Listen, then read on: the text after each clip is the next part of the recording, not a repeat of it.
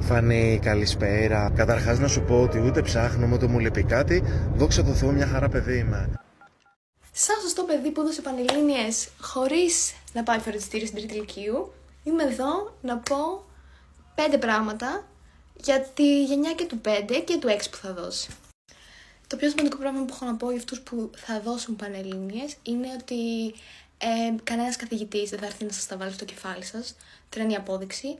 Ε, θα πρέπει να δουλεύετε καθημερινά μόνοι σας. Δεν πάει να. Αυτοί που δεν κάνετε πολλές ώρες φροντιστήριο και λέτε Α, μήπως το κάνω πολλές ώρες. Ο άλλος κάνει 20 ώρες, ο άλλος κάνει 10 ώρες, ο άλλος κάνει 5 ώρες.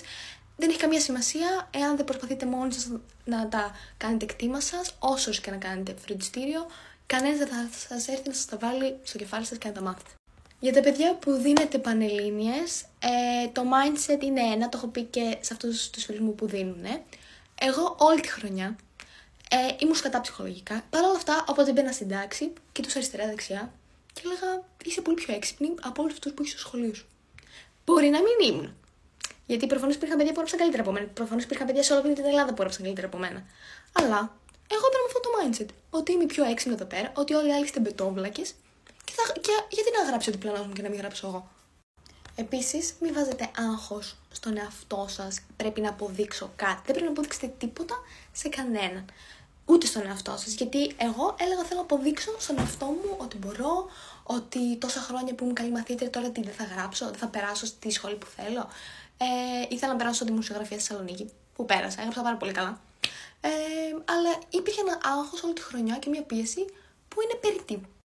Επίσης, να ξέρετε ότι η Πανελλήνιση είναι απλά ένας εύκολος δρόμος για να πάτε ένα βήμα πιο κοντά σε έναν μεγαλύτερο στόχο που έχετε. Δεν μπορείτε να έχετε σαν στόχο της Πανελλήνιας είναι πολύ κοντόφθαλμη σκέψη.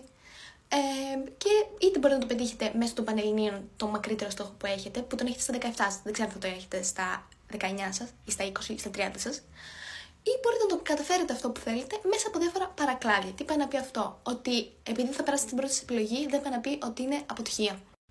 Και τέλος, να πω ότι σε ένα χρόνο από τώρα αυτό που λένε θα είστε φοιτητές το ένα το άλλο, παιδιά, ισχύει και δεν είναι σε ένα χρόνο. Είναι τρεις μέρες αφού θα δείτε το Πανελλήνη, δεν θα θυμάστε καν τι γράψετε. Δεν θα σας νοιάζει καν η βάση, δεν σας νοιάζουν καν οι βαθμοί. Εγώ όταν βγήκαν οι βαθμοί κοιμόμουν, δεν θυμόμουν καν ότι έβγαιναν οι βαθμοί. Ε, δεν με ένοιαζε. Οι Πανελλήνιες δεν είναι ένας αγώνας γνώσεων, είναι ένας αγώνας άγχους και υπομονής. Αυτός που θα λυγίσει πρώτος, αυτός χάνει. Εγώ αυτό πιστεύω. Αυτός είναι ο στόχος. Ποιος θα λυγίσει πρώτος; Για να φάει τον άλλον. Οπότε χαλαρώστε, πάρε μια βαθιά ανάσα.